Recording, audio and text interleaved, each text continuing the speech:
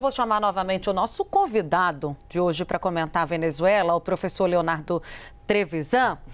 Professor, a gente falava de uma expectativa do que pode vir durante a semana. Eu quero ser um pouquinho mais específica para tratar de posicionamento do Brasil, porque o que a gente tem ouvido são várias é, ideias surgindo no meio do caminho como uma alternativa para não se reconhecer a ou B. Né? Neste momento, a diplomacia acha muito difícil, reconhe... É, é, descarta reconhecer o Edmundo Gonzalez e acha muito difícil reconhecer o Maduro após aquela estratégia de uma comprovação pela Suprema Corte.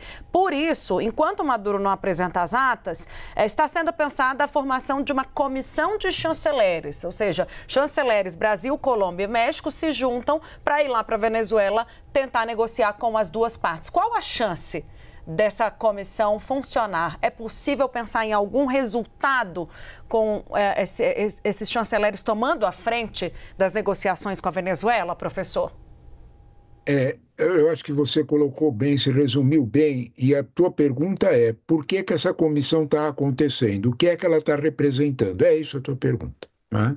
E é esse o ponto central. Se a gente observar direitinho, o que a gente vai ver é, como disse a Luciana, subir um degrau. Né? A, a, pressão subiu um degrau.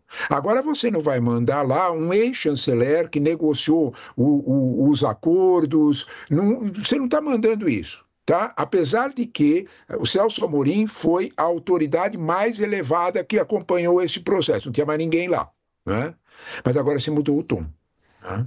Agora você colocou três, vamos dizer, para usar uma expressão, Uribe, militar, três oficiais da ativa, né? É. Os da reserva ficaram para depois, né? Então, três oficiais da ativa, que são os chanceleres do Brasil, Mauro Vieira, da Colômbia e, da, e do México, que vão tentar uma solução negociada. Esse é o ponto.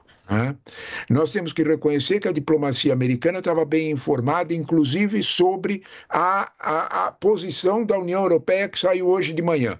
O, o, o, o vice-conselheiro falou ontem à noite sobre isso. Né? Então, o que, que é o isso? Né?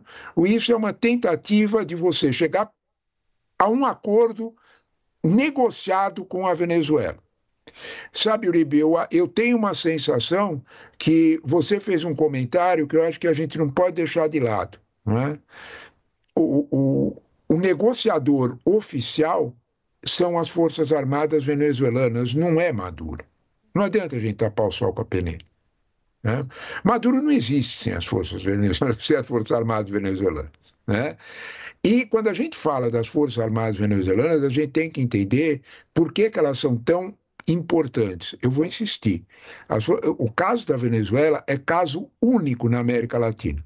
A diplomacia americana conseguiu isolar a América Latina inteira da ideia de militares no poder. Isso pra, para Washington é um, é uma, é um, é um ponto. É? Então, de alguma forma, me parece que essa situação temos que levar em conta.